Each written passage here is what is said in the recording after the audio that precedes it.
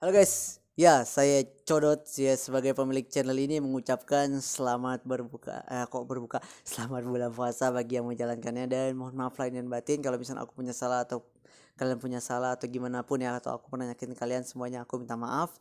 Ya kita sering maafkan agar puasa kita lancar-lancar aja guys ya. Dadah guys. Oh ya buat info live streaming sudah aku share di komunitas ya. Nanti bisa dicek aja di komunitas. Dadah.